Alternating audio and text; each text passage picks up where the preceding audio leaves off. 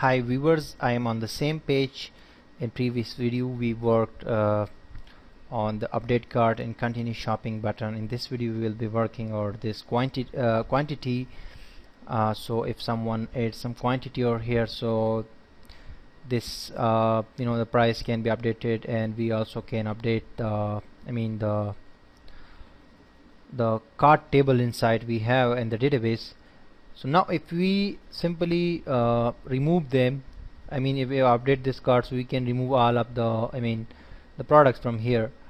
And uh, if we add more products for example I added one product and I will go to cart. You can see this is the product and it has its price is $900 so I go there refresh my uh, you know this uh, cart table. So you can observe over here the product ID is 5 IP address is 1 and quantity is 0 at the moment. Initially obviously the quantity will be 0 so if someone say quantity will be 3 uh, or 2 or 4 or whatsoever so we need to update the card accordingly and can multiply this price over there at that moment. So we need to work inside the source code uh, this is the same page the cart.php so basically we have uh, the quantity input tag over here. Just after the quantity I mean after the input tag up uh, for quantity we after that can insert a PHP block and we will work something out there. First of all we'll say isset using if set command statement we can say that the post is the method and update cart is clicked which we can target over here as well. Same like we targeted it in while removing the products. We will say update cart then what should we do? So first of all we will create a local variable with the name qty in quantity. And we will get the value that a person if a person has entered a value so we'll get that from the quantity uh, I mean from this quantity field input field input uh, input tag which has a name quantity which we have given here. And we have got that from using the post method and have saved that inside the local variable. So now in the next part we will simply uh, run a query update underscore qty is equal to inside the two uh, double quotes we will write a query update update cart table I mean the uh, table cart we want to update that now. We'll simply say uh, set qty field is equal to this one I mean the coming value which is coming inside this. We said update cart set quantity field to this one. I mean change the value inside that to the coming value. We are saying simply like we're saying this is the quantity field inside this table. We said update this. This is having zero value which is a default value. So we'll change that. Someone will enter 2 or 3 or 5 or whatsoever that will go inside the this field and this will be updated. So very simply uh, we need to run the query now. Simply say we will create a new variable update uh, run qty is equal to mysql underscore query mysqli underscore query connection and then as a reference this variable update underscore qty so that's it. Now now here if we want to show if if we want to hold or keep that uh, value which uh, is entered by a user or customer if you want to keep it here in the in this box then we need to use sessions for that. So we must use sessions if you want to keep them. If you want to uh, if you do not want to keep the value is in inside the text field then we don't need to use session but we will keep that there. Therefore we will use session. Uh, dollar underscore session is a default array like uh, dollar underscore post and dollar underscore get and dollar underscore files and dollar underscore request and things like that.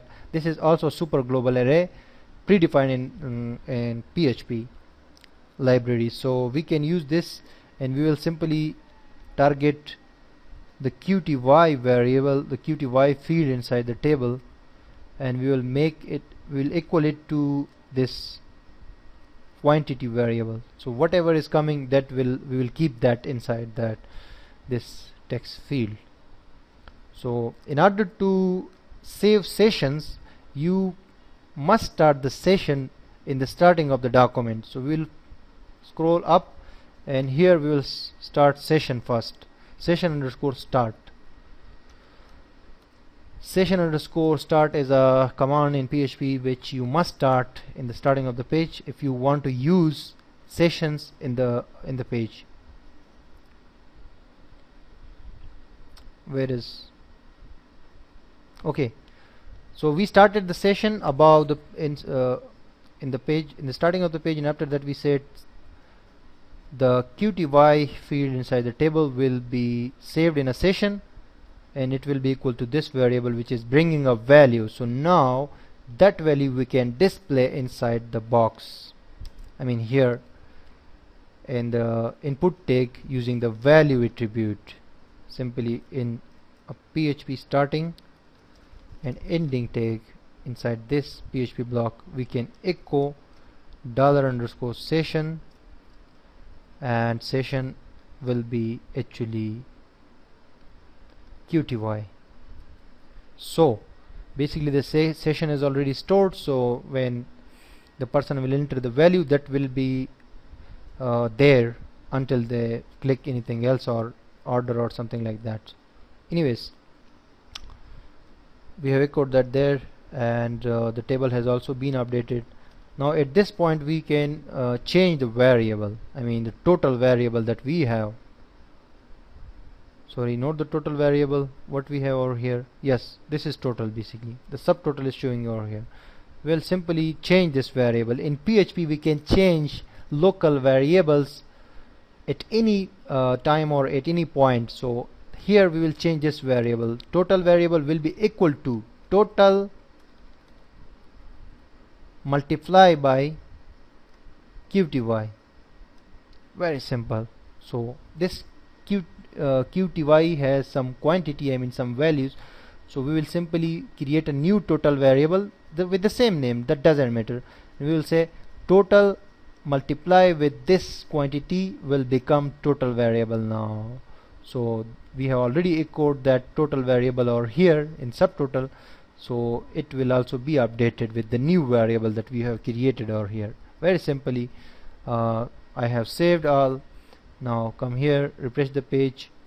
And uh, you know automatically uh, if I write I mean for example I write 5 4 and if I update the cart you can see the product is 1 and the price is 900 so it should be something like 3600 I will update the cart we'll click the update the cart. You can see 3600 is the value. And if we just uh, browse or check this table you can see the quantity is 4 and the price is also multiplied to this. Uh, but there is an error as well which is uh, for the another for each I mean for each loop we used last time uh, here. I mean this one.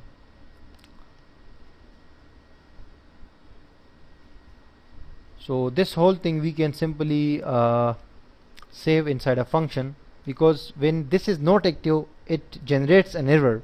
So for that thing we simply can say uh, function and we will name it update cart.